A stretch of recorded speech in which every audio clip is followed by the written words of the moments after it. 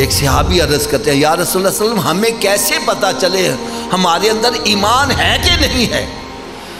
तो मेरे अक्का सल्लल्लाहु अलैहि वसल्लम ने बड़ा जामे और मुख्तसर जवाब दिया, फरमाया, मेरे सिहाबा, जब तुम्हें नेकी अच्छी लगने लगे और गुना बुरा लगने लगे, समझ आना दौलत ईमान मौजूद है।